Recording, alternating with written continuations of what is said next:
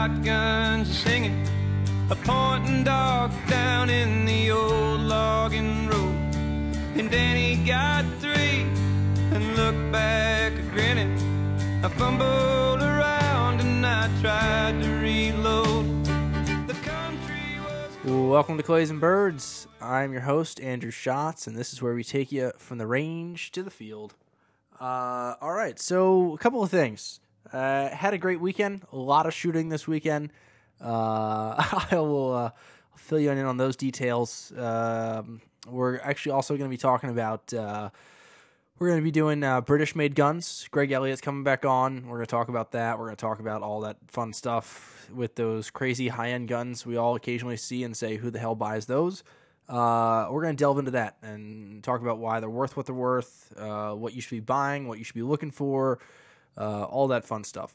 So, uh, and then after that, I got um, Jonathan Carney, uh, VP of Sales from La Flor Dominicana Cigars, coming on. Uh, so, uh, new segment of uh, Tobacconist Corner. Finally, been putting it off, uh, but got him on the phone finally. Uh, we got that set up. So we're gonna get into that later too.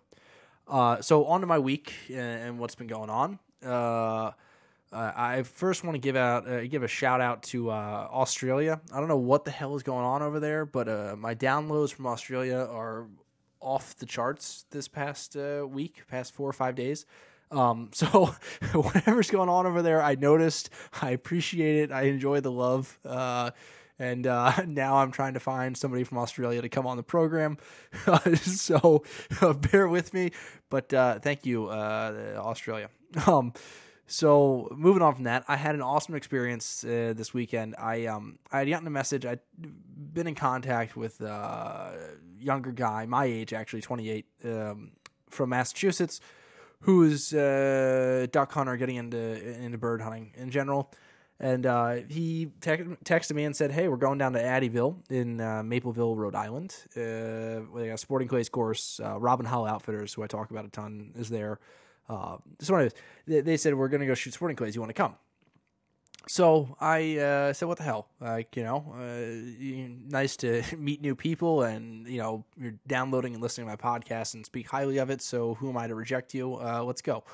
So I uh, I made the trip down, uh, about an hour and a half drive for me, and uh, I met up, and it's an intimidating experience because apparently, you know, there, there are five of them, and it's one of me, and I'm laughing like, you know, is this going to be uh, a bunch of people I would never want to talk to? Uh, are they all crazy? Uh, where does it fit in? It's kind of this weird, weird thing now that I, I guess there's some sort of uh, since my social media presence doing this podcast, uh, the people reach out to you more and talk to you more and engage you more. And I've always been kind of an isolationist person, as odd as that seems, uh, doing this podcast. But um, you know, I've always been comfortable speaking with people and, and having an interaction, but actively going out and being like, yeah, let's make friends has never been my uh, forte. So I went down and, you know, I was ex- prepared for the worst, hoping for the best. Uh, and I, I turned out to be extremely lucky. Um, five awesome guys down there. And uh, we, we had fun uh, shooting at Addieville, uh, sporting clays. Uh, we, were, we were laughing. I, I brought the 28 gauge, and they're all shooting 12. Uh, and I was like, you know, I may suck with this, so bear with me. But I- you know, I held my own, uh, shooting the sub gauge, and um, I mean, we had a fun time. Uh, we shot for a couple hours, uh, cracking jokes. Uh, it couldn't have been nicer people.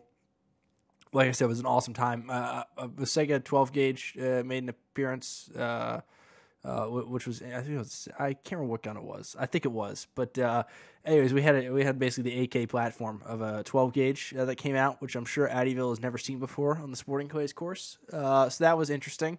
Uh, I'm not very good with it. Um, so, anyways, it was a good time. It was a good time. And then to, to contrast that, I had the antithesis of that experience. I went to Minuteman on Sunday uh, when I wasn't feeling too hot, actually. And um, I met up with Gregg, who's coming on later from Dogs and Doubles. Uh, and we shot um, some British made shotguns and gave me a little history lesson. It was interesting. And, uh, you know, I couldn't have picked two more opposite experiences, but both were, were just fucking awesome. Um, so I had a lot of a lot of fun with that. Um, anyways, so I, I, you know, shout out to the uh, the listeners out there who uh, in, invite me to go shooting. Uh, I will rarely turn it down. Um, but I didn't get murdered. I didn't get raped. Uh, nothing bad happened. Uh, it was all an enjoyable experience. So I, I can't uh, can't complain. Uh, so I'm trying to think of uh, what else we want to get into here. Um, on uh, another front next week, I know uh, the Southern side by sides going on. I'm going to try to have uh, some coverage of that going on. Uh, people come on or whatever uh, and talk about it. Um, so, anyways, yeah, that that's the uh, that's the big thing for next week too. So this week, also we had a, a viewer question. I want to ask you something, and you're gonna say, "Oh, it's too soon." I don't really know him well enough. We only been out a couple times. All right, so this week's uh, uh, viewer, listener question, viewer, listener, I don't know which one. Uh, question comes from Eric. Uh, Eric sent me an email. Basically, you know, gist of it was uh, always been into the dog side of hunting, never really the the bird killing shotgun side, uh, so to speak. He's been looking at getting shotguns. Um, he's always shot a Mossberg 500, but he wants to up what he's getting or what he has now. Uh, he says he's been looking at the CZs. Uh, any experience, any opinion on CZ, and which one would you recommend? So, well, with that being said, uh, I'll start off with this: the the CZs, they're people purists will give you crap about a CZ. Uh, you know, they're they're machined and they're not you know hand fit in the same way, and and yada yada yada. And there's validity to that statement. You're not going to hear me tell you there isn't truth to what they're saying. Um, but for most people that don't really give a shit, and there are plenty of people out there, and it's nothing against them. It's just the way they are. They don't really care who makes the gun, what it looks like. They just want a decent gun that shoots well. Um, now, most of the CZs, like uh, the Redhead Premier, is the one I'm, I'm going to tell you that if you're going to get a CZ, is the one I would get personally, uh, just because they've had it around forever. It's been in the line for a long time, and to me, it's it is the it's the flagship gun of CZ shotguns. Uh, so that's at a thousand bucks. Now, if you were to stretch your budget to say fifteen hundred, um, I would be recommending a Beretta Silver Pigeon. Um, I was having this conversation this past weekend with the guys down in uh, at.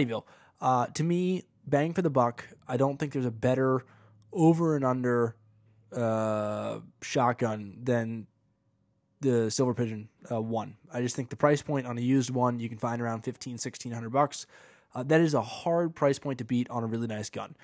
So that being said, uh, I would um, I would say if you are going to go the CZ route, and I understand if you don't want to stretch the budget. I mean, basically, I'm saying take 50% of your predetermined budget uh, extra and you know adding it on there. So uh, it's a significant upgrade to go from the thousand to 1500 if your budget really is a thousand. Like that's a big jump. Um, so if you're going to stay at that thousand price range, nine hundred thousand bucks, uh, I would say the CZ, uh, the Redhead um, Premier, uh, would be my personal choice. Um, now we can get into the debate about uh, what gauge you want to shoot and all that. Uh, I I'm always I'm I'm a sub gauge guy. Like it's no secret around here. But the reality is, it's more expensive to shoot the sub gauges, uh, and it's harder to shoot. So they make it uh, in I think it comes in everything 12, 20, uh, 12, 20, 28, and 410. I think you can get any of them. Uh, I'm gonna say that the 20 gauge, if I were just strictly bird, we're not really talking maybe occasional sporting clays or whatever, but I'm not shooting trap. I'm not shooting any of that. Just really a bird gun. The 20 gauge is what you should be using, um, in my opinion. Um, so uh, unless we're talking duck hunting, then that's a whole other conversation. But anyways, uh, assuming we're talking over and under uh, uh, upland game gun, uh, the 20 gauge with the 28 inch barrels from CZ uh, for the 900 bucks new uh, is a hard hard value to beat for 900 bucks. Um, I just I think that's incredibly well priced for what you're getting. The gun, you know, it's its length of pull is like 14 inches or so. Um, it weighs just shy of seven pounds, so it's got some meat to it. It's not super light and whippy, uh, but it's not going to kill you all day carrying in the field. Uh, th- that's just to me, if you're going to go that route, uh, go that way. So, all right, moving on from that. Now that I covered that uh, listener question, which I love these questions. The more you guys send me, uh, the happier I'll be. Uh, so please don't hesitate. I'm always open for more questions. Um, so, anyways, moving on from that, I want to welcome on Gregg. Uh, so let, let's do that. Let's do the interview with Gregg and uh, talk about British guns. the antithesis of CZ, we'll jump into the the uh, the boss and uh, high end guns.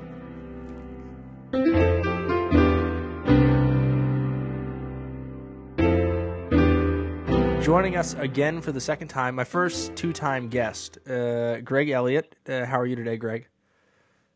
I'm doing great, Andrew. How you doing? I'm doing well, doing well. Uh, It's been a it's been a long twelve hours since I last saw you, or whatever we're at right now. Uh, so so uh, Right. that was fun shooting yesterday. Yeah, it was a great time. A great time to see your Krieghoff.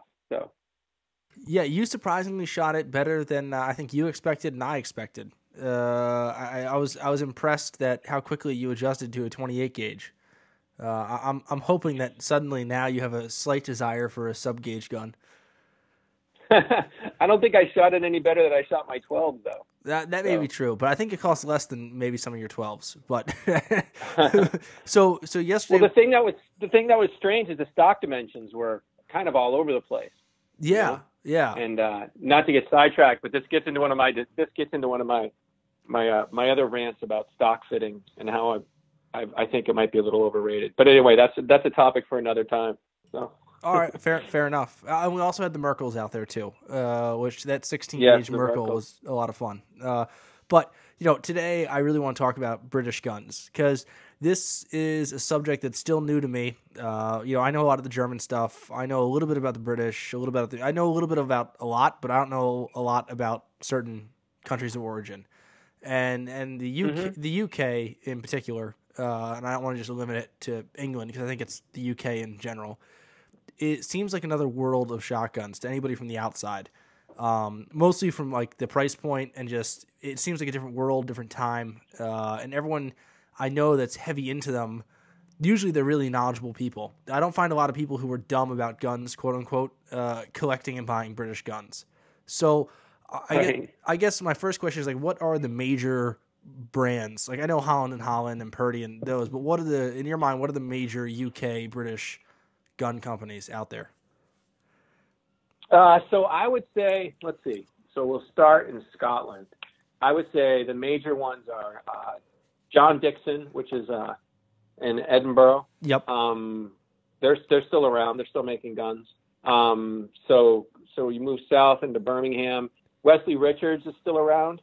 Um, they you know they've been around for a couple hundred years, uh, at least. Um, W and C Scott, uh, they're, they're another huge major manufacturer. They went out of business, uh, like in like the 70s or so. Holland bought them, and they continued them on for a little while. But they were probably the world's biggest gun maker, or the biggest. They were definitely the biggest gun maker uh, in the UK, sporting arms maker, um, and they were huge. They made a lot of guns for a lot of companies, and uh, in the late 19th century and into the 20th century. Um, Greener is also another Birmingham. W.W. Greener is another Birmingham maker. Uh, they were another huge maker. Um, they're still around as sort of a boutique maker, and they make a few guns each year under their name. Yep. Um, and then down to London, the big three in London are Holland and Holland, Purdey, James Purdey and Son, and Boss and Company. Those are the traditional big three. Um, then you have James Woodward and Son, and then there's a bunch of other London makers. But if you were to say the, the most famous makers are, uh, you know, Purdey, Holland and Holland, Boss, and Woodward.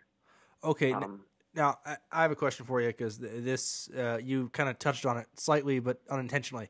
A lot of these companies, you know, you see these big price tags, and you ask yourself, uh, how many of these can they be selling? And you talked about one company uh, in particular only sells, you know, a handful a year or a few a year, so to speak. How do they actually make a living doing that? Selling, I don't know what a few in your mind is, uh, but how do they how do they survive selling so few guns a year? they charge an awful lot for them. you know, that's why they cost one hundred and forty thousand dollars a piece. you know, Yeah. that's why those that's why those things the price tags on them are so astronomical.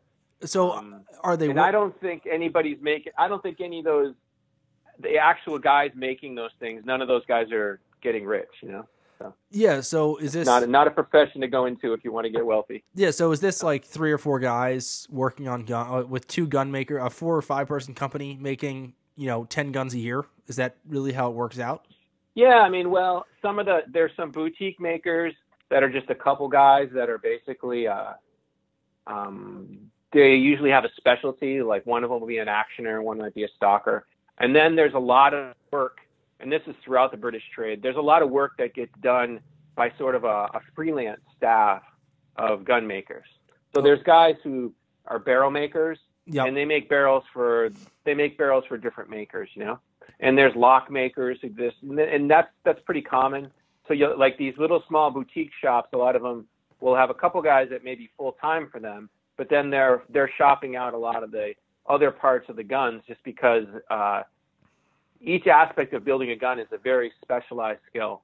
Um, and this in the trade, in a lot of ways, has always been that way. There's always been a lot of outworkers, Yeah. and uh, you know that's still the case today. So. So now, what what would you say is the price range if someone was like, I want to go out and buy a British-made shotgun? We're not even saying side by side or over and under. We won't even specify it to that degree.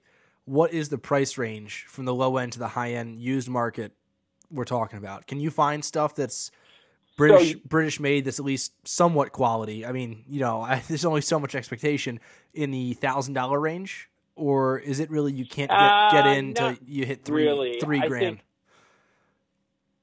You still there? Yeah, I'm still here. Can you hear me?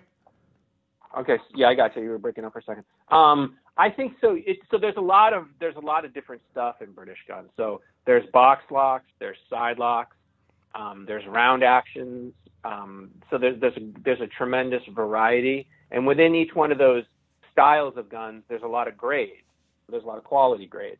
So you can get a really you know a, a well-made, solid British box lock non-ejector. You can buy those for fifteen hundred, two thousand dollars. You know.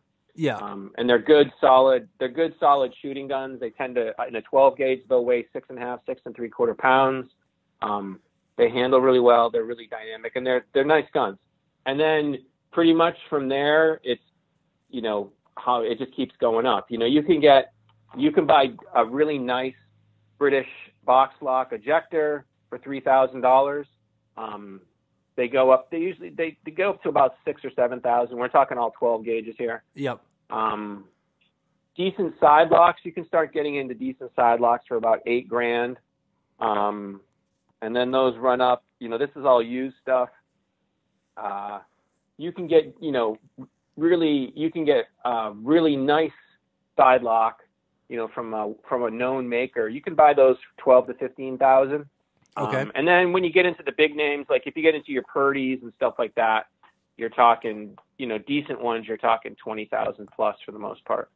So- Okay. and those are side by sides. Now here's uh here's a question for you. So I, I'm you know I had to research it myself back in the day, but will you explain the difference in box lock uh, and you know and each of the different systems? Yeah. So let's see a quick explanation of that. So a box lock is uh, so those are the side by sides that you know basically the actions kind of look like little boxes, and the action's the part where that has the hammers in it, the barrel's attached to it, and the stock comes into it from behind, um, and the triggers are right behind it. So that's the action. And on a box lock, the hammers, you know, the hammers that fall to strike the uh, the primers, the hammers are attached to the inside um, of the box of the action, um, and so they're they're they're actually affixed to it. And to access those, if you had to work on them, there's a plate on the bottom of the gun. You remove the plate, and then you see the uh, you see the uh, hammers in there.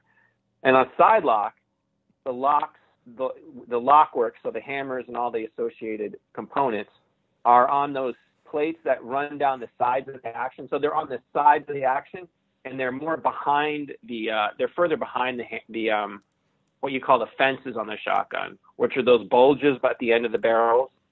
So basically, the biggest difference in them is side locks take more time to build; they're more complex. Um, it's arguable, you know, whether or not they're better, but they uh, they tend to look a little nicer. They tend to be a little slimmer. Um, I think they're a little more elegant looking gun, and like I said, they definitely take more time to build.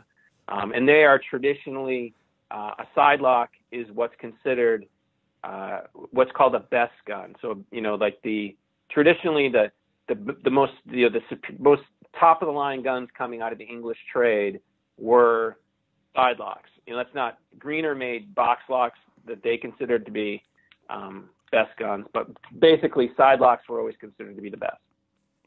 Okay, and uh, I'll throw one in there. Uh, drop lock. So a drop lock is just a uh, uh, so it's a Westley Richards invention. Yep. So all a drop lock is is a box lock that how do you explain this? They basically built an, another. So if you imagine on a box lock, there's a wall on either side that the hammer's affixed to. Okay. Okay. And what what a Westley Richards drop lock did is they put a piece of metal in there. They basically put a plate in, and they affix the lockwork to the plate, uh, and the plate goes is flushes against the side of the action of the box.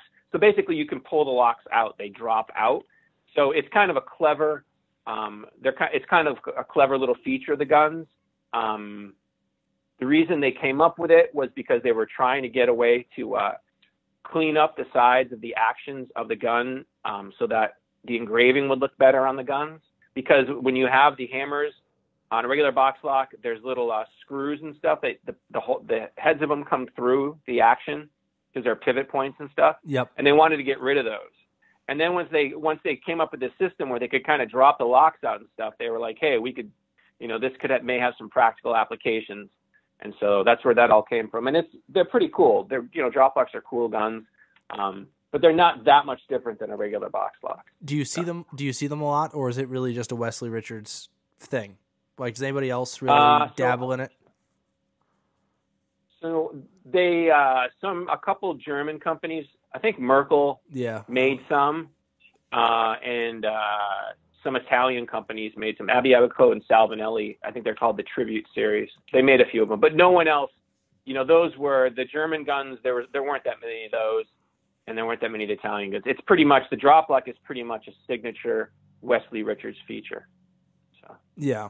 Um, yeah, I was looking up online. I, I guess you can get a four gauge Westley Richard drop lock uh new from the factory or you know factory is a stretch new from the guy the guy's yeah, the guy's basement um so uh anyways i, I just it's what you need. yeah for the mere price of 75,000 british pounds uh yeah just, just sign me up Yeah, yeah. um so yeah, those those new Westley Richards are nice. They're nice guns though. That's the the drop locks there. They call them hand attachable locks, but they're nice guns. yeah, for fifty thousand British pounds for a twelve gauge, I certainly hope so. Uh, you know, I hope it's, Yeah. I hope it's a nice gun. Um, okay, so now most people would, would balk at the price tag of these guns, right? Your average person who's shooting, you know, a Browning or a Parker or or some of these other guns uh, would would say you have lost your fucking mind if you're dropping 12 20 50 75 100 plus thousand dollars on a shotgun uh, do you have any, like a, a counter to that do you have a,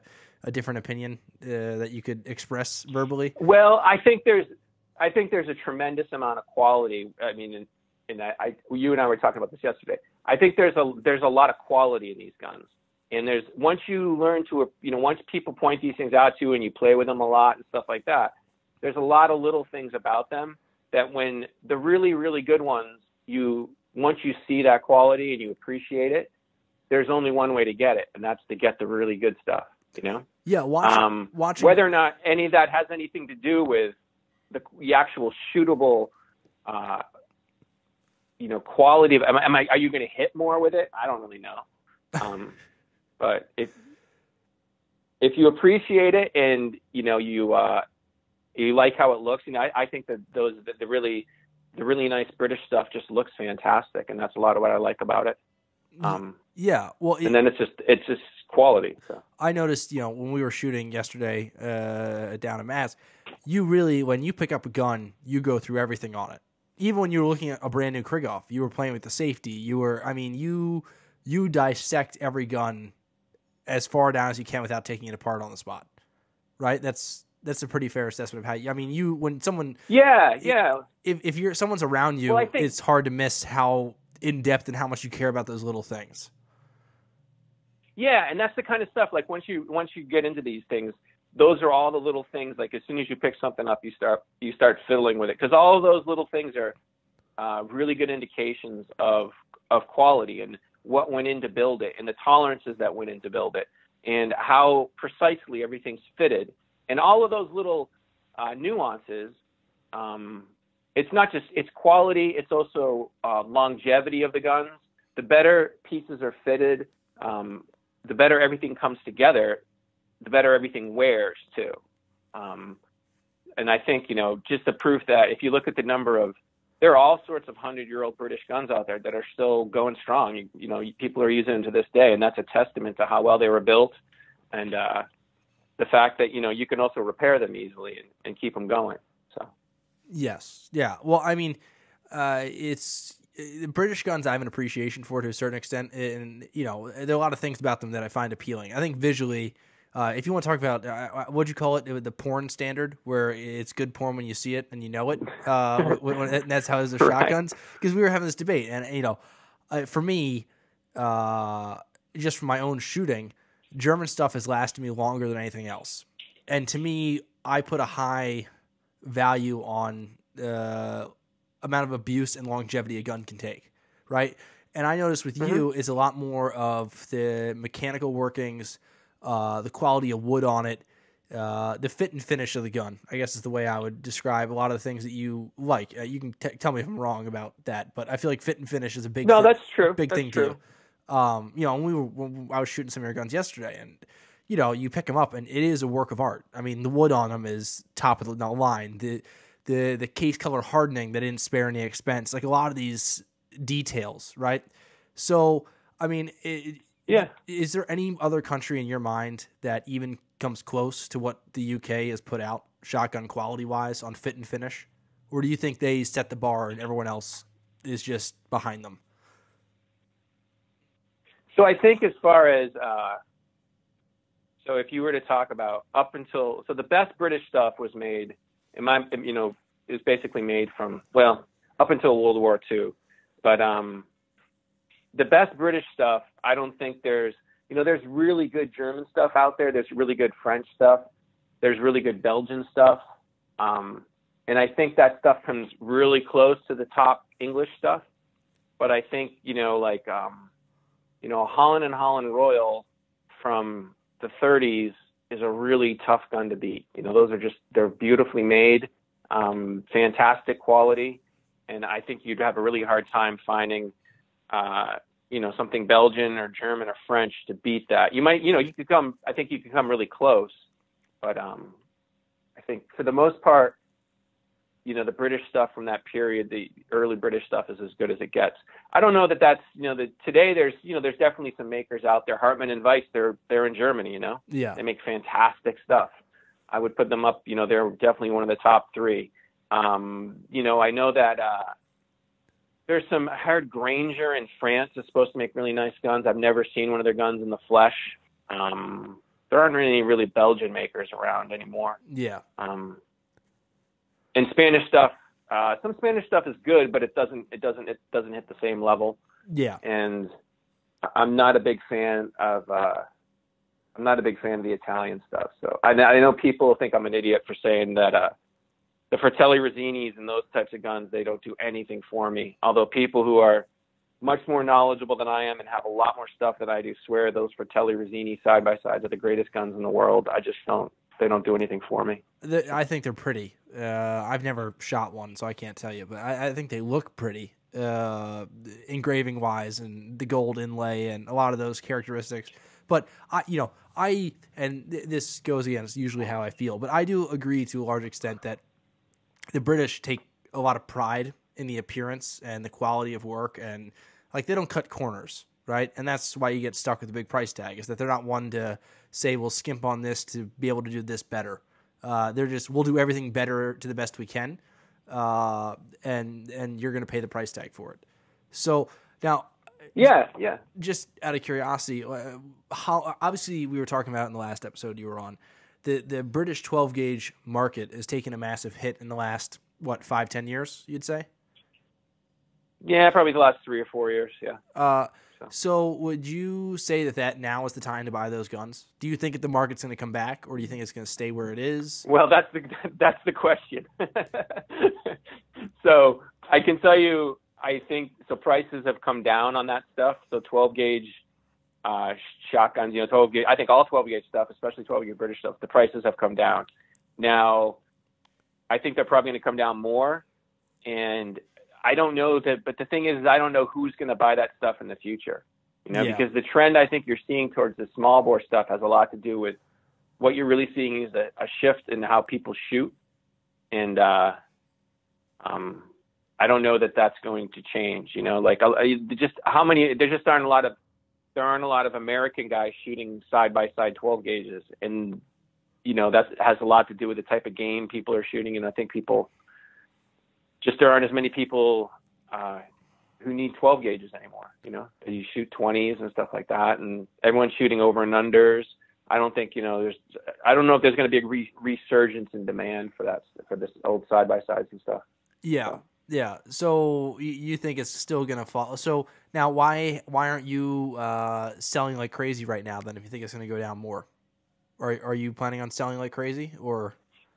Well, I mean, I don't have I don't have a ton of stuff to sell, but um, but and the other thing too is I don't think you um you don't really buy this stuff. It's not really. I mean, no matter what do people tell you, it's not they're they're not investments. You know, No, Um, uh, not in most. you try cases. to you want them to maintain their value, but you're also going to enjoy them and use them. But if you're just looking at them for an investment, they're a, they're a lousy investment. All this stuff is. You know, if you you're better off putting your money in a you know put your, put your money in a uh, you know just put it in a mutual fund. Put yeah. it in an index fund. You know, you don't have to. Index funds don't break. You don't have to. You know, they don't rust. Yeah, You know? I would say uh, my my brother made a killing on the fully automatics. That was where he made a fair amount of money. Uh, that that yeah, was that what- market. That market Yeah. really took off. yeah. so, but okay. So now you're you go in and let's say what do you out of the major, the high end, let's call it the higher end, the Holland and Hollands, the Purdey's, the Boss. Which is the one you can get in the cheapest? I think overall, like if, if in the used market, you can get into Holland and Hollands. Holland and Hollands tend to be uh, the least expensive of those three makers, um, and I that's just because they made a ton of them, and I don't know. They don't, you know, from a brand perfor- a brand point of view, they probably don't have as much cachet as Purdey's do and and Bosses do, and and so the other thing too is so uh, Holland made a ton of guns. Purdey made a ton of guns, but they probably didn't make as many as Holland. And then of those three, Boss made the fewest by far. So that's the other thing. There's there's not as many bosses out there. Uh, so they tend to always of the big London makers, they tend to bring the most money. So uh, I've been looking just you know out of my own curiosity. Uh, are these Holland and Hollands in the sub ten thousand dollar range worth anything, or are they just kind of like just the crap Holland and Hollands that no one really wants? Because occasionally I'll see one come up for like eight or nine grand, and you know it's a whole new world to me. So I couldn't even tell you the first thing about them, but I just I know the name. You know what I mean? It's hard not to know the name. But Right. is am I basically looking at crap in that price range? Well, it depends. So there's a lot of different grades of Holland and Hollands too.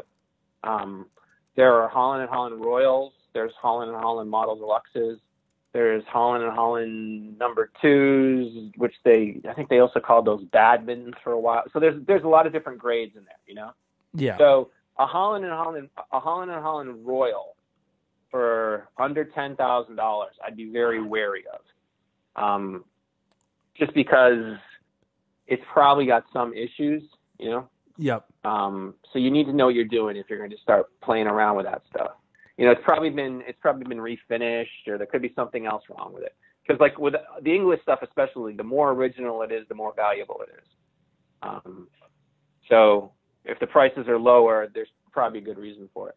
Um, but you know, you can find some of the other grades of the of the Hollands. You can find them, you know, for seven, eight, nine thousand dollars, and they're really good, solid guns. So you you know, it takes a little research into them to figure out if you're if you know if you're going to get a if you're going to get a steal or if you're going to get robbed. Now, So- when you get uh, when you get barrels re-sleeved, is that a huge deal breaker for you? Yeah, yeah. For me, absolutely. I that stuff.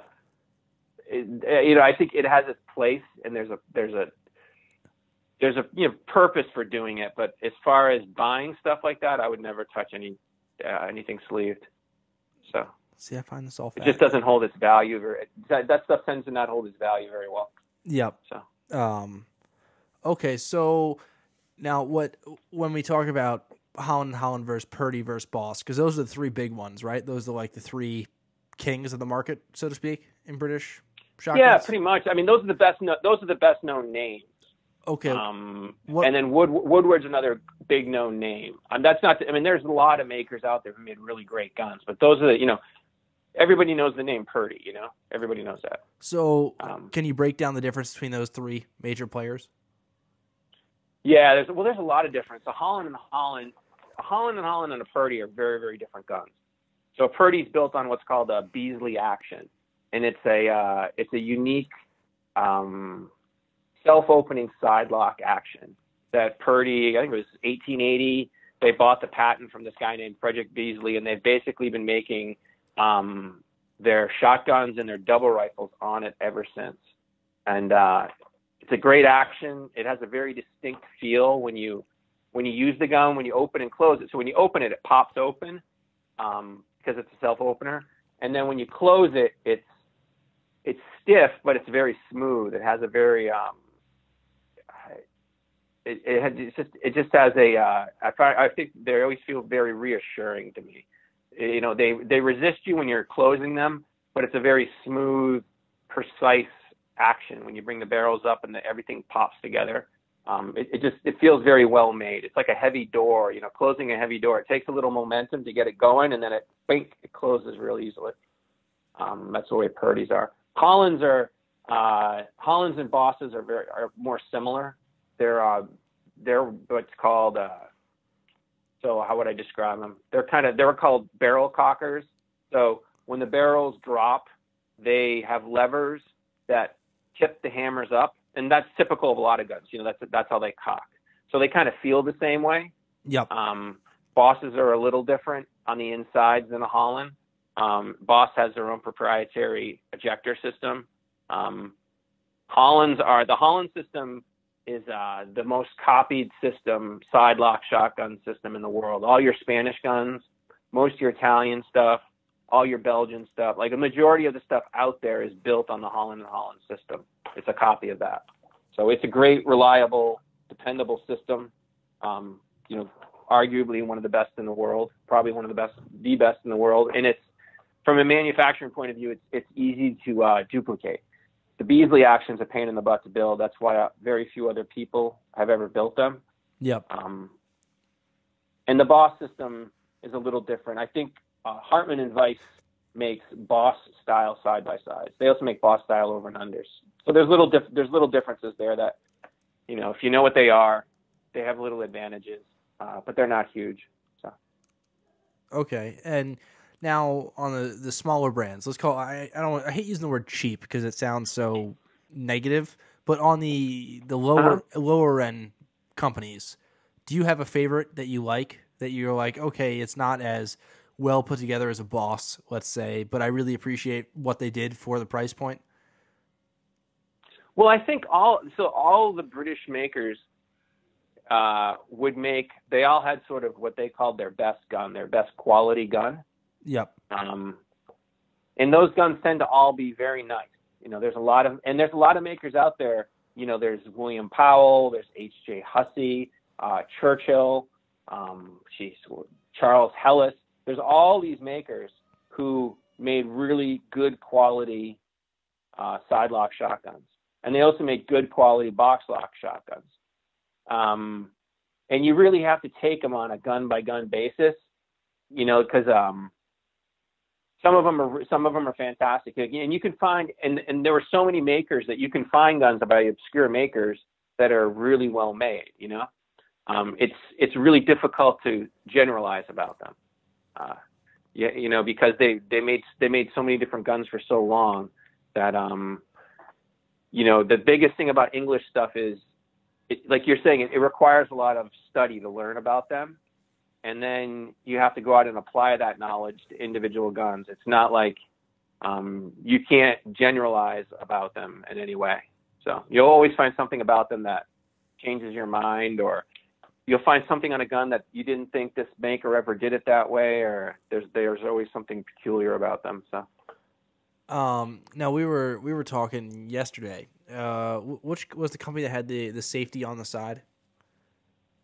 that was Greener. That's Greener, right? Is that that's Yeah. that and that's a British concept right there with the, the safety on the side. We were talking about all there, Yeah, that was Greener's. That was Greener's big thing. Yeah, the side safety. So I mean, the, the British seem like they were very, you know, uh, what's the word I'm looking for? Innovative, maybe in some of the things they tried Yeah. before anybody else. So, ca like, do you have any of those things they did that maybe didn't work out, but were kind of neat or a cool idea or different that you can think about over the years, where you're like, wow, that really was something completely unique? Well, there's all sorts of there are uh, all sorts of different designs. Um, so uh, hammerless. So there were hammer shotguns. You know, like with shotguns that had the hammers exposed, and you would cock the hammers. Yep. Um, there were breech loading hammer guns. So that's 18, 1860s. Those come out, Yep. and those replace muzzle loaders. 1875. Westley Richards comes out with a would they invent the box lock. That's one of the first successful hammerless guns. So the hammers move inside the guns. Obviously, the guns still have hammers, but you're, they cock differently. Yep. At that time period, from like the 18, mid 1860s to the 1890s, there were all sorts of different inventions. You know, there were all sorts of things. People were trying to come up with different types of hammerless guns. They were cocking them differently. Um, they were putting the safeties in different places. They had different patents for different style ejectors. So there was a ton of innovation going on. Um, there were patents flying, you know, being uh, registered all the time. And the same, you know, same thing was going on in America too. Um, and what you basically saw by the, by the 1900s or so, things pretty much shook out. You know, um, the best stuff continued forward into the 20th century, and all sort of the, you know, the ideas that weren't that great got dropped and left behind. So you see a lot of stuff from, um, you see a lot of uh, stuff from the 1870s and 1880s that sort of you can see makers like working out ideas. Um, you can see stuff that they they came up with, and then you can see they, you know, eventually someone comes up with a better idea, and everyone else stops doing it. So an example of it is um, uh, Purdey. On their hammer guns, they had this little. Uh, they they came up with different ways of opening the gun. So first there was a one of the first ways to open and close a gun was this thing's called the Jones underlever, which is this big lever that sort of ratcheted out from underneath the trigger guard. Yep. And then they came up with this thing called the thumb guard, and it was this extension inside the um, trigger guard that you sort of pushed forward, and that was really awkward to use. Um, and then they uh, basically uh, adapted a Westley Richards top lever with this thing called the Purdey bolt. So all of these, these things kept changing and evolving, and they kept and eventually they sort of came up with um, the best ways to do it. So there is a lot of stuff out there that's sort of the uh, the precursors of these things, and I have I have owned some of that stuff, but I kind of gotten away from it. Like a lot of it, if you if you're really into oddities and eccentric stuff, there's a lot of that out there, and uh, it's definitely it's one of those collectors fields I know people get into. All right. Well, anything else we're forgetting in the the British shotgun topic of conversation? Any important things we're Uh. I think that I think the biggest thing is that I think there's you don't have to spend. I mean, so really good British guns are you know, in my mind, like twelve thousand dollars and Mhm. up. But if for twelve thousand dollars, uh, what it, I see I see Perazzis out there that cost more than that. You know. I, s- I, um, I know I see Krieg. Krieg- Yeah, yeah. I mean Kriegos. I see Kriegos that cost more than that. Uh, and so you can get you can get beautiful British guns for comparable money, and I think there's a perception out there that you can't. Um, they're different guns. For the most part, they're game guns. They're not. Most of them weren't built to shoot a. You know, they weren't target guns. Although they did build those types of guns. Yeah. Most of what you see out there is for game shooting now. Oh, that's But, another, uh, that's another thing. but it's- wanted to hit on. Sorry, you reminded me of They're something. available. Yeah. Um, I was going to ask you. uh, You know, one of the guns we shot yesterday was a, a pigeon gun, uh, which Yep. to a lot of people is a weird concept of what the hell a pigeon gun is. So can you can you get into that? Can you explain that a little bit? Because you know, hunting in the UK. Yeah. So you- a, a tr- yeah, go ahead. Sorry. Well, so a true pigeon gun is a shotgun that was made for the sport of live pigeon shooting, specifically made for that sport.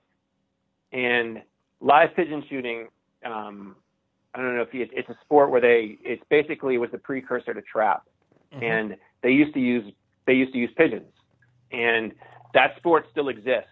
They don't they shoot it in they shoot it in the U.S. They shoot it in Spain. Mexico. Uh, I think they Mexico they shoot it. They shoot it in some parts of the Caribbean. it's it's Yeah, highly they still shoot it. It's highly frowned upon in many. I got invited to a pigeon shoot and I didn't go, and it's one of my biggest regrets. Uh, but but it is highly frowned upon in the U.S. Uh, I- Yeah, they shoot a lot of it in Texas. They Yeah. shoot a lot of it in Pennsylvania. Pennsylvania, where they have Um, the animal rights groups always protesting. Uh, but yes, that's yeah, right. yeah, yeah. yeah, Yeah. Well, they used to shoot a ton of it in the UK, too, and they used to be a huge sport in the United States too. yeah. Um, they used to, you know, they used to have listings in the papers for top pigeon shooters. But anyway, these guys that shot that stuff, they had specific guns built to compete with. They so there's there were guns that were specifically built for pigeon shooting. And so what these these guns are typically uh, heavier guns. They're usually like seven and a half pounds or so. Um, they have two and three quarter inch chambers. They're usually nitro proof for one and a quarter ounce loads. They're usually stocked pretty high and straight. They usually have uh, really wide, flat ribs on them. Um, and when you pick them up, they tend to be um, I don't know if I don't know if there's a little more weight forward to them. yeah. Uh, I think they tend to shoot a little high. They tend to shoot high too because you're you know the pigeons for the most part it's a rising bird, so um, you want a gun that shoots high rather than you know a gun that shoots low. Um, but it's definitely it's, it's a specific class of British guns, and you know some people will. There's also heavy proofers, which were guns that were based a lot. Some of them were made to shoot waterfowl, um, but there's there's some guns that people call pigeon guns, but they're not true pigeon guns. Uh, so that's sort of the distinction. True pigeon guns and true pigeon guns usually command a premium price too. I was gonna ask that if they go for more or for less, because I mean, it really is when pigeon shooting. Just really quickly, is like one of the all-time old school.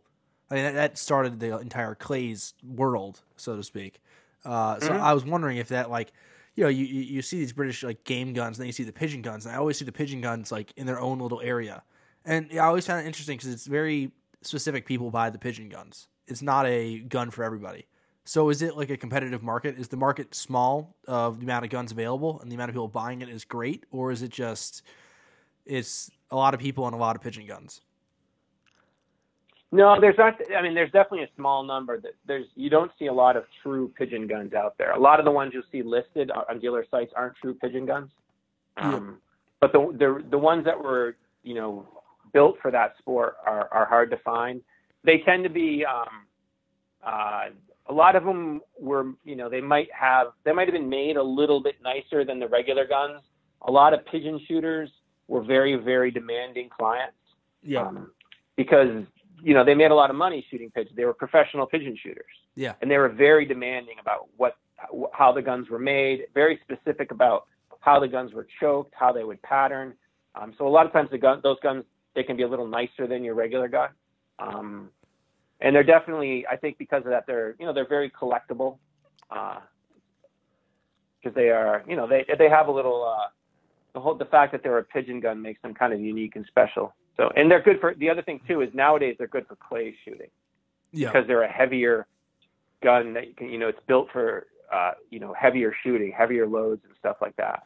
Uh, so that's the other reason why people like them nowadays. So just quickly for reference, can what is the price difference between like a pigeon, a true pigeon gun, and a non-true pigeon gun of the same company? Like I don't know, let's say Boss, like a Boss pigeon quality versus a non-pigeon quality of the same gun. Is there like a ten thousand dollar difference? Is it a fifty thousand dollar difference? Yeah, it depends.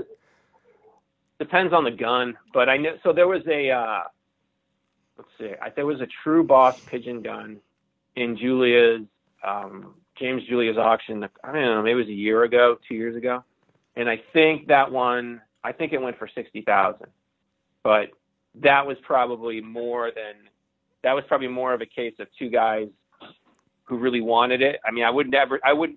No one was expecting it for to sell for that much yeah, and they were thinking it was more like a forty-five thousand dollar gun, but um, but it had you know two guys wanted it. Uh, it's it's hard to say like because it's hard to find two. It's it's hard to find two comps that you can put right next to each other. Yeah. Um, and say the game one goes for this much because the conditions and all those things come into play. yeah. You know, like you can have a you can have a pigeon gun that isn't as good good a shape as a game gun, and the game gun would be worth more because of the condition. A lot of a lot of British stuff comes down to original condition, and the more a gun has, the more of it it has, the more people will pay for it. You know, it's like you know cars. If you could find a, if you walk into a barn tomorrow and found a you know a 65 Ferrari that was untouched and been sitting there and no one had messed with it, it'd be worth a lot more than one that had been refinished and restored. you know, Yeah. they just people pay a ton of money for original condition. All right. Are we going to talk to you post uh, side by side, Southern side by side? Are you going to come back on after that? Give us. an Yeah, yeah. I'll talk to you. I'll, t- I'll be home Sunday night. We can talk next week. All right, yeah, I got uh, I got uh, Gosling coming on from uh, Upland Almanac, who's going to be there also. Uh, so Oh, cool. You Great. should you should track him down and be like, listen, we've we've been on the same podcast. Uh, welcome to the welcome to the club. Yeah, I'll have to talk to him. Uh, yeah, but it, I mean, you're just going down to look, right? You don't have the intention of buying anything. No, I'm just going to look and say hello to people, and um, you know, there's a lot of vendors there. There are people in there from the UK that I want to go meet and talk to, and people that I know that I haven't seen. So it's it's more it's sort of like uh, it's a big convention more than anything else. You know, it's like a trade show. Are you You driving? know, you just go. No, I'm flying down. Nice. Flying down. It's a Solid 12 hour drive. So Yeah, well, I, I mean, they were packing up Robin Hollow when I was there, getting ready for it. Uh, oh So- yeah, getting ready to go. Yeah. yeah, it's a lot of fun. You know, it's just a, it, it's a good place to, you know, and and for my writing stuff, I'm always looking for stories. So I'm always down there talking to talking to people, seeing what's going on, and uh, looking to do stuff to plug to my blog and stuff like that.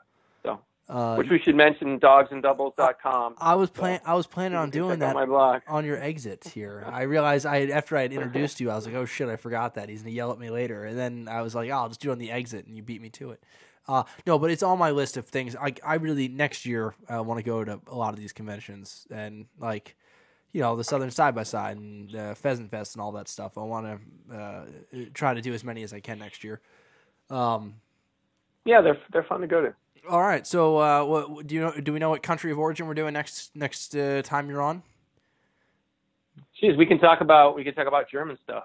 Ooh, all right. You sure? I know you're. Yeah. I know you're a little pissed about how they bombed all those uh, British factories still, but.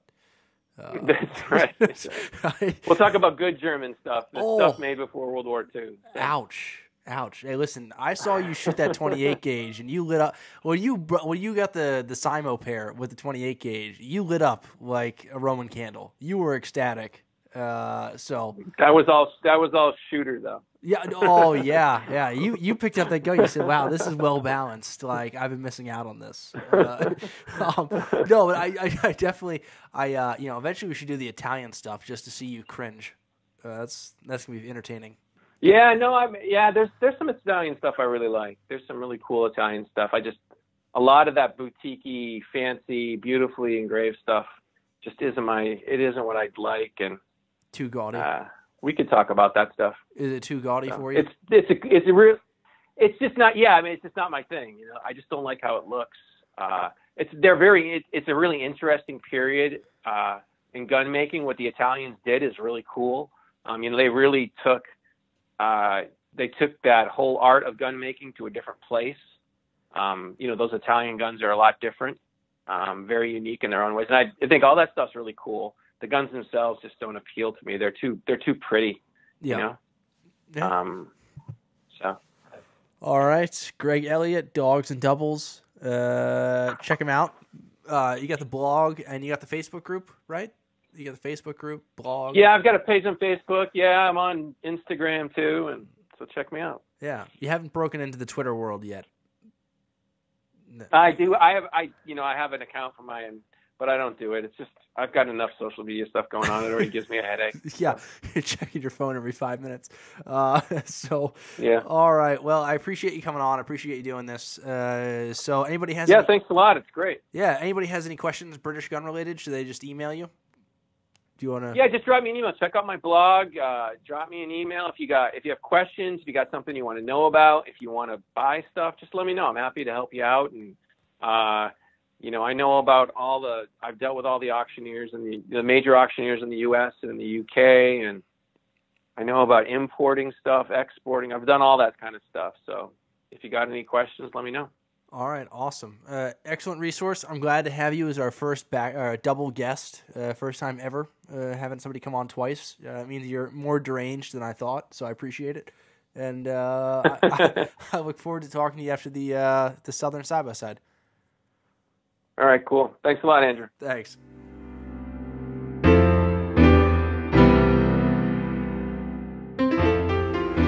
Darling, are you enjoying the good things in life? Like Masterpiece Pipe Tobacco. The five great pipe tobaccos of the world in one master blend. Virginia, Perique, Turkish, Latakia, Burley. Why am I so interested in pipe tobacco? Darling, because you are. All right, today we got our first time guest, uh, John Carney, Vice President of Sales for La Flor Dominicana, coming from us in a car somewhere in Pennsylvania. How are you doing? Doing good, Andrew. I, I love how we were talking prior to this being uh, being live, essentially and I'm sure people are wondering what we're laughing about, and we'll never be able to tell them, unfortunately. Exactly, exactly. That's that's how I like to do it. It gets it gets everyone loose and uh, less serious in the interview because everyone else starts like talking random shit that they didn't have planned before. So now at least we've gotten the pleasantries out of the way off mic. I mean, I, if you can refer to what we were talking about as a pleasantry, that's that's uh, you know that's a different definition than I have. is what it is. Hey, you miss me every time you go into Twins, and I'm not there. Don't lie. I, I, I I miss you every time I come to New Hampshire. Sometimes it's intentional. no, my friend, I'm uh, I'm glad to be on the podcast, and uh, it's been enjoyed watching you through the social media and what you've been doing with this, and. Uh, certainly miss you on the cigar smoking side, but it's good to be able to share uh, to share this moment together here. So, well, thank glad, you. Glad to be back. Thank you. I, uh, yeah, I mean, well, you know, watching from a distance on a, uh, you know, reversing this, uh, LFD has certainly had uh, a hell of a year. Uh, you guys won Cigar of the Year this past year, so you want you want to tell me about that a little bit? So yeah, um, Cigar Aficionado every year does a top 25 cigar list. I think at least 15. It might be longer than that. Um, but uh, every year they have a top 25 list. I would select the top performing cigars from the year from their rating system that they use, uh, from their in magazine and their Cigar Insider, which is a bi-weekly, uh, uh, essentially cigar newsletter that they have. Um, and we were very and humbled this year to, to be selected as number one right towards the end of 2016. It's always announced uh, now in December. Uh, so we got a nice surprise in the middle of December uh, that was selected as the top cigar of the year, which is which is also a kind of a blessing and a curse uh, at the same time. Uh, for example, for us, you know, the way our company operates. Yeah, so yeah, so we handle our own uh, growing of the tobacco at our farm. We have our own production at the factory that's owned by a husband and wife, uh, Litto and Inez Gomez. So we're, we're actually kind of a small operation um, in relation to what the image of what our size uh, is on the outside. You know, where the appearance of what we are is that we're much bigger than what we are. So when uh, you select something as cigar of the year, this is really a uh, something selected cigar of the year. This is really a worldwide type, um, you know, recognition. Uh, so the the brand image um, and the demand that's placed upon the product because of this rating um, is quite significant and definitely uh, puts a strain on production. Uh, so as I said, it's a blessing and a curse. It's certainly a great honor. Uh, it's been great for us to kick off 2017 uh, with the Andalusian Bull being Cigar of the Year. Uh, but at the same time, it's taken some time for us uh, to to train new people at our factory to make the product, uh, as well as process the right amount of resources to be able to increase the production um, and increase the supply based off of the extra demand because of the Cigar of the Year. But certainly an honor and a great way to kick off 2017. Yeah, well, the, the cigar itself is it's what uh, six and a half inches, right?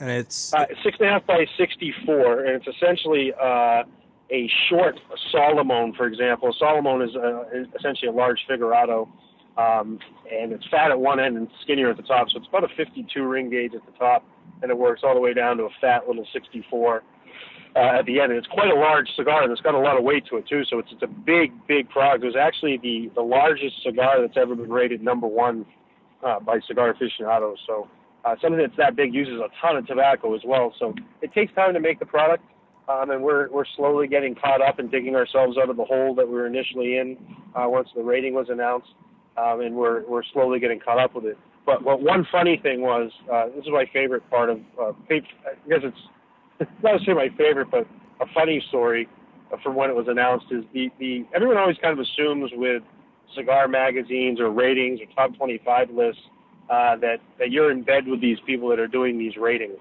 um, and that they give you a heads up and that you're involved and you know far in advance um, that you're going to be doing this. I mean, we have no idea, and we had no idea that we were even uh, even going to be on the list, let alone be number one. So when we found out that we were number one, we found out exactly at the same time that everybody else did at 10 o'clock uh, when Cigar Aficionado updated the website. There was no pre, uh, you know, pre-warning. There was no discussion about it before. Uh, they didn't disseminate any information to us, uh, alerting us beforehand that we were going to be getting this rating. Uh, so it came as a complete surprise and a complete shock to us at the time. Um, and the funniest part of that whole situation was the day that it was announced was also the last day that our factory was open for the holiday season. Traditionally, uh, in the Dominican Republic and Nicaragua, these factories close uh, for the Christmas season. They take two or three weeks off to let the people celebrate with their families. Uh, there's a strong religious, uh, you know, culture down in these countries, um, especially in these areas. Um, so they, our factory closed the very next day after this was announced. Um, so you get cigar of the year, and you get this influx of demand, uh, and you're and everybody's going on vacation essentially. Yeah, yeah. Well, it, is torture, and every year it happens. I mean, uh, what was that? I'm trying to remember when I was working. It was the the millennia uh, the millennia one, and they you couldn't get those things in every every time they do this. No one knows what's coming, and it's just an absolute nightmare because everyone wants to buy it and no one can get it. So, uh, yeah, it, it's never fun. It, it is a curse. Uh, it's yeah. it, when when you know you mentioned Oliva, the Oliva Melanio, really nice cigar. Um, you know, the Oliva Melanio is a line of cigars. Uh, there's like eight different sizes in that line. Yeah. Now, there's one specific size that got Cigar of the Year. Yeah. But with the Andalusian Bull, it's it's one size, one shape, one cigar.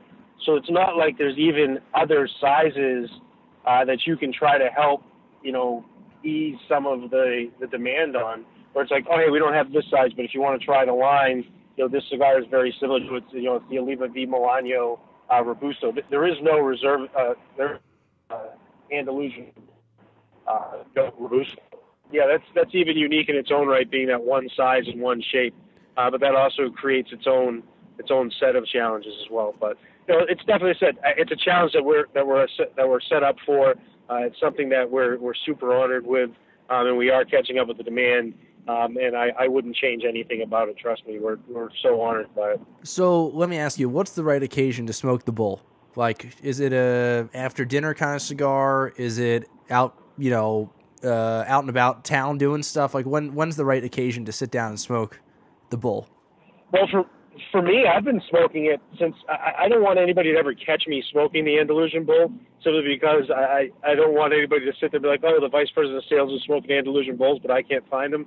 So I, I very rarely smoke it. So for me, there's there's very few occasions that you would that would ever catch me. I, I had one on my birthday in February, uh, so for me, it's kind of been a celebratory cigar. Um, you know, it is at a little higher price points, around fifteen to sixteen dollars MSRP. Um, so it's not necessarily an everyday cigar, uh, but it, it's for me, it's something that's you know when I when I smoke it, when I saw it the first time in July, I'm like, this is something I'm going to smoke on a somewhat regular basis. You know, I'm going to smoke it once a the, one of these a week, um, and it's going to be something that I sit down and really enjoy in the moment when I have free time. And for me, when I have free time, it's usually in the evenings. Um, you know, at the end of the day after we've been visiting retail stores, um, or if I'm at an event, at a special event after the event's over, sitting down relaxing. Uh, so for me, this is kind of the Andalusian Bull For me, is a is a nightcap type of cigar, a cigar that tops off the evening, uh, tops off a great day, tops off a great meal.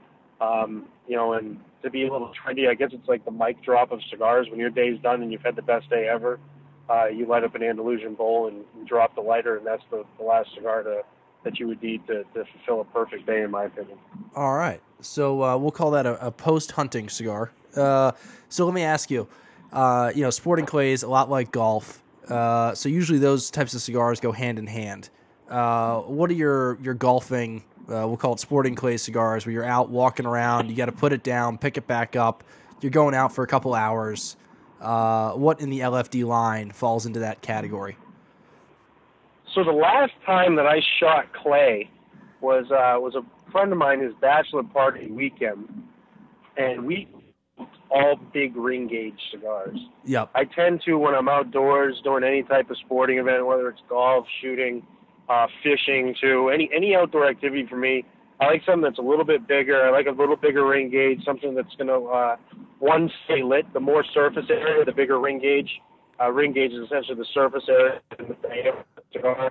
Um, something that's going to be bigger is going to stay lit because you have more surface area burning. Yep. Um, also, it's going to be a little bit smoother, and you tend to have larger cigars tend to be built with a rugged premium tobacco. You know, it's going to be you know, some of these larger cigars. You're not seeing them with Connecticut shade wrappers on it, which are real thin, light uh, tobacco. You're seeing them with thick, sun-grown tobaccos that uh, have been, um, you know, just have been really, really not protected essentially from the sunlight. And what that does is it creates a thicker tobacco. Now, in reverse, when you're outside doing some sort of sporting activity, if you have something that has a little bit thicker tobacco, it's going to have the same type of reaction that it would have when it was growing on a plant, where it's going to be less susceptible to damage by the elements. So if you're outside, there's wind blowing or there's you know changes in humidity and whatnot, uh, thicker, stronger tobacco uh, is going to this time. So for me, I, I uh, on that weekend we were shooting, we were smoking uh, two different cigars actually. Uh, we were smoking from our, our Reserva Especial line, which is a cigar uh, that's medium, medium full for us. Uses a wrapper from Ecuador, uh, Dominican binder and filler that are grown on our farms. Uh, we were smoking that Reserva Especial line. Uh, the two that we had that were specifically were our Gran Robusto, which is a new cigar in that line for us. This Reserva Especial is actually our second line that came out in the uh, mid 90s, and at that time it was a very mild cigar. It's a little fuller bodied now, uh, but the at that time bigger ring gauges weren't super popular. So when we brought this brand back, uh, Reserva Especial, we brought it back in July. We actually added two sizes that were uh, really conducive to being smoked in outdoor activities. Essentially, uh, one of them is our Gran Robusto, which is a five and three quarter inches by 60 ring gauge, and then we have one called the Super Corona, uh, which is a 7 by 60. And the Corona size is generally 44 ring gauge to 46 ring gauge, uh, but the Super Corona we have is 7 inches by 60, so it's kind of a behemoth. Um, and then um, another large ring gauge offering that we have, uh, which is even bigger than the uh, Super Corona, is our Digger, which is from our Double Ligero line, which is super full bodied, really rich, um, and a great cigar for golf and a great cigar for shooting uh, simply because it's huge. It's eight and a half by 60, uh, 60 ring gauge, super thick tobaccos. It burns forever. You can set it down for two holes and pick it up, and it's still going to smoke. One one of my Um, one of my I- best one of my best cigar memories was uh, with you and, and a couple of our friends in Boston at uh, Stanzas, and uh, you pulled out. I think it was like you bought five diggers, which it's like you know that's a time commitment, and it's a good cigar. You know, it's intimidating as, as shit. I mean, you look at it and it, it petrifies some people. Uh, but it, it isn't as knock you on your socks as you would expect when you look at it. Um, I think it's one of the more underrated cigars from you guys. Um, uh, you know, people don't smoke them as much for the price point, and the amount of cigar you get. I think it's like a knockout uh, in, in quality and price point. So I'm gonna I'm gonna tell you for it's around eleven dollars, and, it- and it was when it first came out. It was one of the largest cigars in the market. It came out in 2009 and 10, and it was huge. There wasn't a lot of big ring gauges out there, and you see a lot of bigger cigars now in mainstream. Um, but uh, I, I 100% agree with you. Uh, only it, it's really not underrated because it is our second best-selling cigar, period, uh, in the entire world. Our number one is our Double Ligero 700 Maduro, which is a six and a half by 60 version of the Digger, essentially, and the Digger's eight and a half by 60. Um, but you just don't see you don't just see in a cigar shop you don't see as many people smoking the bigger ring gauges because the people that are hanging out in cigar shops a lot of the time are you know are into what's new or into like what's trendy um, and, and really the hardcore premium cigar smokers are the ones that are smoking these big ring gauges um, and those aren't necessarily the people who see them they're buying them by the box um, you know or they're buying them by the handfuls to take them to go do their outdoor activities or go and do things that, that aren't necessarily just sitting in a cigar shop for three or four hours. Um, and you move a lot of those things. You know, for us, as I said, it's, it's our number two best-selling SKU. Um, so it does show there. You know, there's a huge demand for that.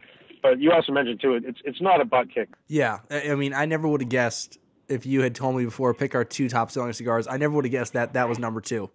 Uh, No, no, nobody ever does. because you know, you know, I, we had our regular customers that always smoked them. I mean, you, you know, you know the one person I'm thinking of in particular who would smoke like three in a day. yeah. But I mean, we had those people who were dedicated to come in and buy a box uh, or whatever. But on a on a single sales stick, you didn't see a lot of them flying out the door uh, like some other stuff. But you know, everyone that the, the regulars loved a lot of those cigars. Uh, you know, the Digger especially. They they adored it. So, uh, but it is shocking. I never would have guessed that was number two. Yeah, number number two, number one's uh, the as I said, 700 Maduro. Uh, so the big ring gauges are still king, um, and it's really niche market, you know, and it, it really goes in line with I, I think a lot of probably your listeners. You know, I think a lot of your listeners probably, whether you're a big ring gauge smoker or not. Uh, you know, when I go golfing, I, I don't smoke a lot of big ring gauges, but when I go golfing, I smoke ring gauge. When I go shooting, I smoke big ring gauge. When I'm hunting, I smoke, you know, bigger ring gauge. I want something that's going to last the whole day or it's going to last a while, so I'm not have to play around with it. And when I set it down, I know it's not going to get beat up. Um, you know, and there's there's definitely a lot more smoking that happens in the outdoors and outside of cigar lounges than there than there does inside. Yeah. Uh, you know, the the majority of smokers are people that are smoking, uh, doing other things. Yeah, You know, and the lounges are great. It's a, it's a confined area where you're seeing people smoking. There's a great brotherhood and camaraderie there. Uh, but the reality is, you know, majority of cigars are smoked other Now, uh, a quick question for a little backstory here. Uh, we, you, along with myself and one other friend, uh, stumbled across a box of uh, uh, of factory press twos. I'm wondering how many do you still have left of the original box that we split? Uh, from the box that we split, was it just the three of us that ended up splitting them at that time? Yes, I mean Cope kept most of them, and then uh, Okay. uh, how many come in one of those cases? It's a 120 count crate. So this the new factory press will be the same packaging. Um, it's a big it's a big box that actually is a a press in itself where the cigars are pressed in the box. Hence the name box press Yep. um, or factory press. Uh, so it's a 120 count crate. And out of the factory press two that we all split, uh, I have I have eight of those left. However, I have an entire box hidden Ooh. somewhere in the United States uh, that has my name on it. So I actually have my own box of factory press twos that I discovered and that are being hidden and are in safekeeping. It was so like- I, I right now have 120 uh, factory press twos, Nicely. which were uh, from 2007. Yeah, I still have uh, two trays. Uh, so I'm feeling good about myself. That was the best part about doing the inventory at Twins when we changed locations was all the LFD finds. Remember, I found that box of the uh, the old school label uh, Lanceros. Uh, Oh yeah, yeah. yeah. Uh, I mean, there was Well, and so many good finds. Well, and you know, the owner there, Kirk Kendall, he he's been one. He's a good, you know, good friend of mine. But he was also before I before I knew him, he was a huge cigar collector and, and slash uh, hoarder. Yeah. So uh, he he always had some really rare stuff. And I was just digging around in this humidor a few weeks back. I mean, he's got some things from like 2001. He's got some boxes from 1997, and this is all the Flor Dominicana products. So he's got some really rare stuff, and it was it was always fun to dig around and see what see what was hidden around and and find gems like that. And I tell people whenever you have an opportunity to try something that's older, especially from a brand uh, that makes fuller bodied cigars. Yeah. Uh, you know, we make fuller bodied stuff, and you know other brands that are full bodied out there as well. Uh, but when you find something that's got some age on it that was a really full bodied cigar back in the day when it was first created, uh, it's really fun to see how that ages and how it takes on different flavors over the time. Um, so I always suggest people, if you ever find something old, the older the better. Tr- try it, have it, enjoy it, and see how uh, see how it becomes, you know, something different than even what it was when it first came out. Um, especially if you had the chance to try it, you know, back in the day when it was originally these different lines or different cigars were released. But uh, a- aging cigars are great, and, and, and trying to find, uh, you know, and stumbling upon different brands that are that are older are, are definitely something that's fun. Yeah, it's uh, it becomes addicting. Is the best way to put it when you start buying and collecting and sitting on and. But uh, yeah, Kurt Kurt always has something interesting hiding out somewhere. Uh, it's always Yep. a fun time. So, uh, anyways, I I appreciate you uh, taking time. I know you're on the road. I know you're a busy man. Uh, so I appreciate you coming on doing this. Uh, and uh, trying to think, are you guys? So are you all caught up on the Bulls? Can I like? Is it gonna be easy to find for most people, or is it one of those things that's hit- No, the, the the demand for it's still still significantly higher than what we're supplying. Uh, there, there will be a little more readily available. You know, there may be a higher chance of finding them now than there were over the last few months. Our production is essentially multiplied by a factor of 10 since uh, since last month. We were training new rollers, so uh, those rollers are off training. They're now making those cigars. They're they're perfect. We we you know quality and consistency, making sure that cigar tastes the same every time. That is what's important to us. So there may not be a at a point. We may not get to a point where it's just always available, uh, but it is at a point now where uh, you will be able to find it if you're somewhat patient. Uh, and when you do find it, uh, you know we ensure that that that product's going to be the same for you, and it's going to taste the same as it did uh, when that was rated 96 rating in Cigar of the Year by Cigar Aficionado. But not not caught up, and uh, we we don't have any plans to get caught up. with it. It's more important for us to make sure it's the same every time than it is for us just to get it out to uh, to meet some supply. It's not about the money for us. Uh, it's about making sure that everybody has a great experience when they enjoy our cigars. So Which that's is- the same uh, the same boat that we're taking down Which- the uh, Andalusian Bull. it is very appreciated because I remember working when a cigar of the year came out, and you could tell that they were shipped out quickly. And most of them, since it was a fragile roll, uh, you could tell that they weren't rolled properly and they were breaking when they showed up at the doorstep. So you'd open up a box and you would have all the tips cracked on them, uh, which was no fun. So uh, that that is appreciated in the cigar community. I assure you that uh, you guys are making sure they're consistent. I'll let you go. Have fun at Cigar International. Uh, any other events coming up, or is this it for you? Uh, I will be at. Uh, I got a cigar guild that I'm doing tonight, so I'm doing a little cigar seminar uh, this evening in Bethlehem, Pennsylvania.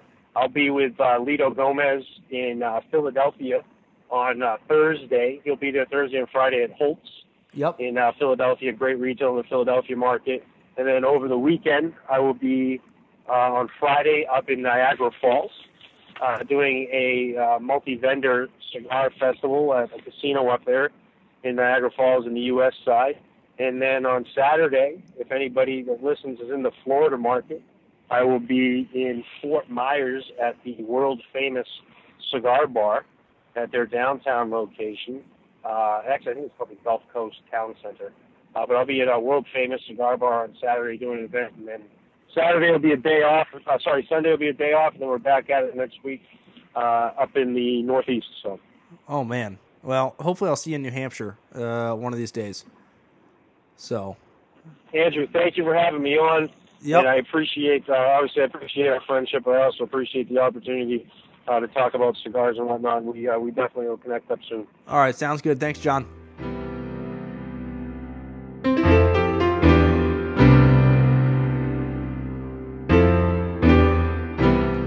All right, guys, uh, that's going to do it for this week.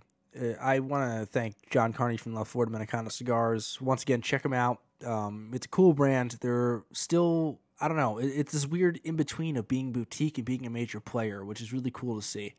Um, they make great cigars, awesome company. All the reps I love to death. They always were the best to me when I worked in the cigar industry. Um, can't speak highly enough about that that brand. And I'm not just saying that to blow up smoke up Carney's ass, but uh, but anyways, he's a good guy. Uh, the company is great. Uh, Litto, every time I've met him, is awesome. Just fantastic cigars. Uh, moving on from that, uh, Gregg Elliot, Dogs and Doubles. Um, it's like the Wikipedia of guns, uh, with shotguns for us. Uh, I, I highly recommend you check out his blog. Um, once again, awesome guy to reach out to. He's so helpful. Um, you know, he's the first one to tell you it's a terrible buy or it's a great buy. Uh, he's just always there to help. So uh, once again, I'm excited about that. Um, uh, next week, uh, John Gosling from Upland Almanac's coming on. Uh, he's scheduled to come on. Schedules are subject to change, uh, but I think we have a. He's pretty good. Set time and place and all of that jazz. So I'm excited to have him on. That's a magazine that's been around for a while. Um, most of us recognize it and know it, and I just think it's going to be a cool thing to talk about because there hasn't been a lot of quote unquote literature side um, uh, that we've covered here. Uh, beyond that, um, I do have a dog that's going off to boot camp uh, on Friday. All right, not Friday, uh, Sunday. I'm going down to Addieville again and uh, dropping her off with uh, somebody uh, who I'm hoping to have on. I don't want to ruin that surprise. Um, so I think that will be will be pretty cool. uh, little side story there with that. Um, so, anyways, yeah, I mean, I uh, like I said, I had a great weekend. Uh, a lot of fun with those guys from Mass. So, um, once again, thanks thanks for tuning in, guys. If you can click and subscribe on iTunes and rate it and give me reviews, I'll really appreciate it. Uh, it's helping me out. We broke top hundred in outdoor podcast, which is awesome. Uh, I'd like to thank Australia again for for giving me that little extra boost um, this past week. And uh, I will talk to you guys soon. And uh, thanks for joining us on Clays and Birds. I'm your host, Andrew Schatz, and this is where you take you from the range to the field. Have a good week. He once belonged to me, but I gave him up when I moved to no fire. Off